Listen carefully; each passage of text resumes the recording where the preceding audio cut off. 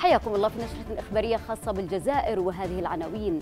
السماح للناشط السياسي رشيد نكاز بمغادرة الأراضي الجزائرية الاتحادية الجزائرية للملاكمة تطعن في قرار إقصاء إيمان خليف واستيراد 60 طنا من اللحوم السودانية لضبط الأسعار.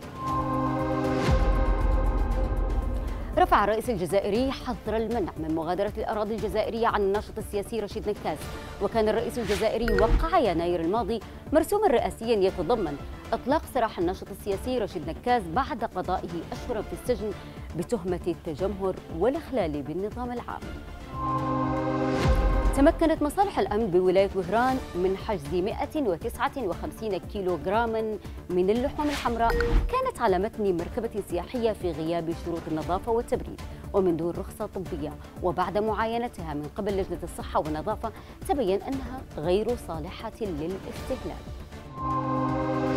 كشف وزير الرياضة أن الاتحادية الجزائرية للملاكمة قدمت طعنا بعد إقصاء الملاكمة إيمان خليف من تنشيط نهائي الملاكمة المقام بالهند لكن اللجنة التنفيذية للاتحاد الدولي لم تقبل الطعن وتعهد الوزير ببذل كل ما يجب على مستوى الاتحادية والوزارة للدفاع عن القضية.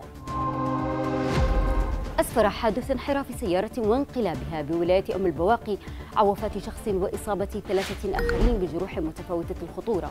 تم إسعافهم في عين المكان ونقلهم إلى مستشفى محمد بوضياف بالولاية نفسها. كشف السفير الجزائري لدى السودان استيراد 60 طنا من اللحوم الحمراء في دفعة أولى من السودان مؤكدا أن تصدير أول شحنة جاء بناء على اللقاء الذي جمع الرئيسين السوداني والجزائري على هامش القمة العربية.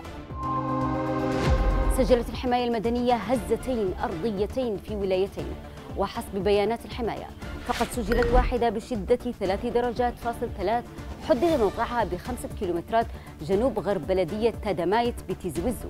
والثانية بلغت شدتها درجتين فاصلة ستة حدد موقعها بأربعة كيلومترات شمال شرق بلدية العبادية بولاية عين الدفلة. بهذا الخبر تنتهي نشرتنا وإلى اللقاء.